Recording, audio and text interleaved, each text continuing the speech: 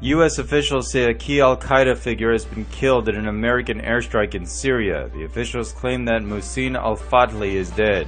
He was the leader of the Khorasan Group, a cadre of Al Qaeda operatives who were sent from Pakistan to Syria to plot attacks on the West.